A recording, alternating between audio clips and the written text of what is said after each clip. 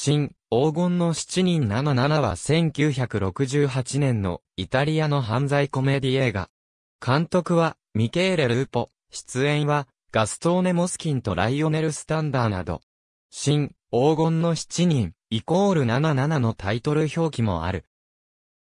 黄金の七人、続、黄金の七人、レインボー作戦に続くシリーズ第3弾。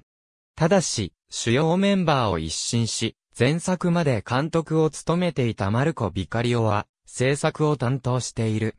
なお、前作までとは、音楽のアルマンド・トロバヨーリとアドルフ役で出演していたガストーネ・モスキンが同じである。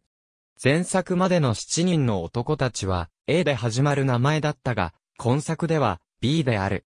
ロンドンの刑務所に収監中の6人の囚人たちがそれぞれの特技を活かし、ある大犯罪を企てる。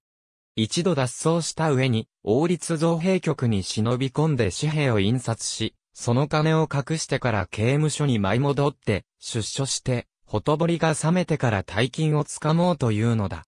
だが、計画に気づいた囚人サムが強引に同行する。役に立たない上にトラブルメーカーなサムを引きずりながら、計画は進められる。括弧内は日本語を吹き替え。ありがとうございます。